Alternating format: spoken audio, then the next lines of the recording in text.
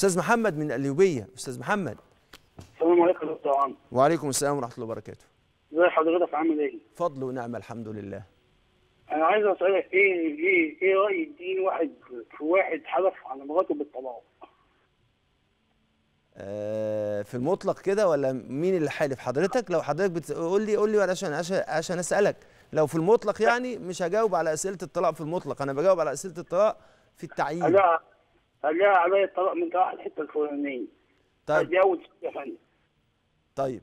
بس عايز أقول لحضرتك حاجة. حضرتك اللي قلت كده؟ لا ده واحد جارنا يا فندم. قال لها عليا الطلاق من راح الحتة الفلانية.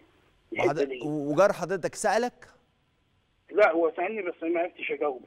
طيب حضرتك لما هو يسألك ما تجاوبش عليه. بص يا حاج بص يا حاج محمد لما يسألك ما تجاوبش عليه.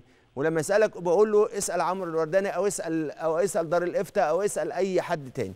فما هتخليه ما- بلاش حكاية إن إحنا نسأل بعض في الطلاق. أمر التاني هو لازم يسألني عشان أجاوب عليه. لازم يسألني. اولا اولا لما يقول عليا الطلاق إحنا ما تأكدناش إن هو قال عليا الطلاق ولا قال لفظ تاني. هتقول لي لا هو قال لي كده. ممكن حضرتك حتى لو أخطأت إحنا بنتعامل مع شيء دقيق جدا. بنتعامل مع أعراض بنتعامل مع بيوت.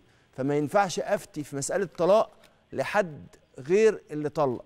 فحضرتك خليه يتصل وأنا هجاوبه. بكل وضوح. نعم؟ ده اول سؤال ده اول سؤال. طب السؤال الثاني يلا اتفضل يا حاج محمد.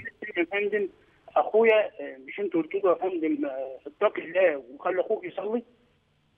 آه. أخويا أنا كنت طالع عمره كنت طالع حج السنة دي الحمد لله راح جاي مقطع لي الباسبور وراح جاي يضربني وقال لي انت تمشي ما ينفعش تتفضل ولا تطلع حج. إيه تاني كده؟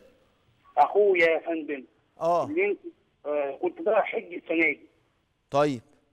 راح جاي مقطع الباسبور وضربني وضربني بالكرباج يا فندم. قال لي أنت مالكش حج؟ وأنت مش مسلم.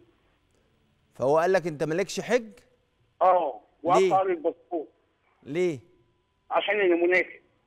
لا. انت منافق وأنت ما مالكش حدش حج. ما حدش ما حدش ما حدش يقدر يقول لحد أنت مالكش حج انت حجيت وان شاء الله حجك يكون مقبول. إذا انت أديت الأركان والشروط وكان حجيت بمال حلال يبقى انت حجك إن شاء الله صحيح. وليس هناك ما يجعل شخص يتألى على الله ويقول لحد انت حجك مش مقبول. نعم.